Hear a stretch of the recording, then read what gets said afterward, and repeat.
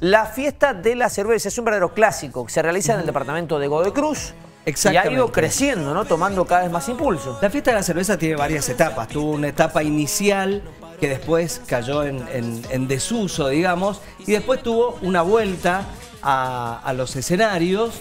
Eh, comenzó allá por el año 2008, creo, si no me equivoco. Esta va a ser la edición número 15 de eh, la fiesta de la cerveza.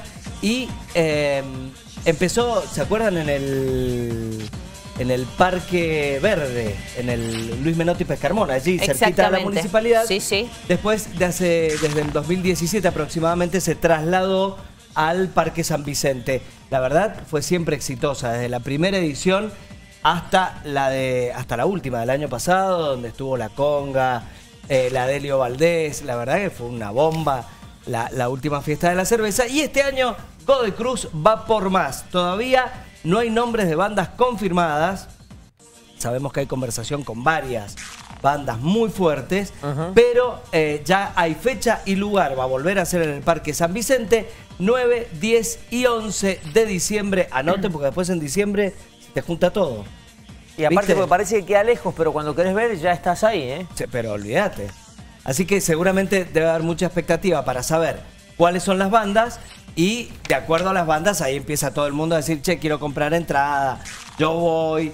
Eh, y la, verdad que eh, hay que aclarar también que Godoy Cruz hizo un trabajo enorme el año pasado.